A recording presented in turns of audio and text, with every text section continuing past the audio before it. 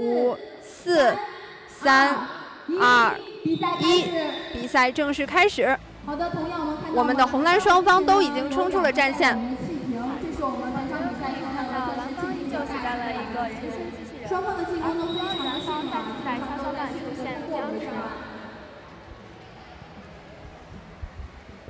两方的机器人基本上都选择了一个远攻的我们红方机器人正在发射自己的炮弹进行一些攻击。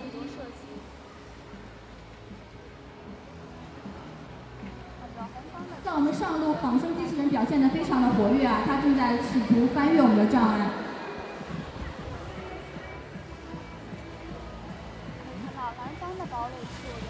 我们看到在上路自动升降门的前方呢，我们红蓝双方正在对峙，仿生机器人是的正在试图通过我们的自动升降门。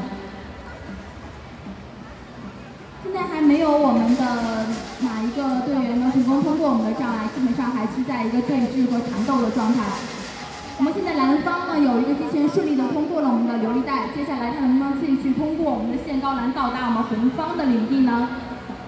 我们蓝方的一台仿生机器人正在试图通过限高栏，到达我们红方的领地。好的，这场比赛我们红蓝双方的进攻都不是非常的激烈，啊，大家都选择了比较保守的战术。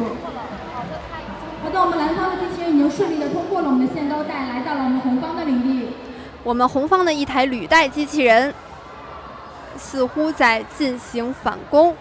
我们这个蓝方机器人的策略应该是登上我们红方的。是的，但我们蓝方的仿生机器人已经登上了红方的高地得分，好样的蓝！方机器人已经顺利的登上了我们红方的高地，红方机器人已经回到了我们的高地是的进行了一个有效的防守。那现在蓝方的下方同样有一个红方机器人在试图登上我们蓝方。蓝方机器人仿生机器人正在试图登上蓝红方的堡垒。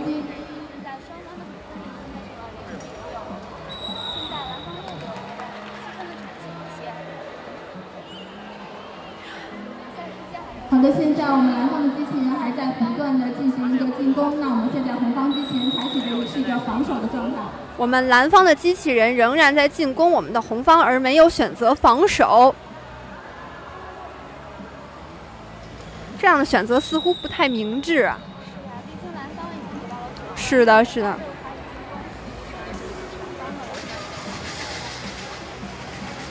现在比赛时间还有最后的二十秒钟了。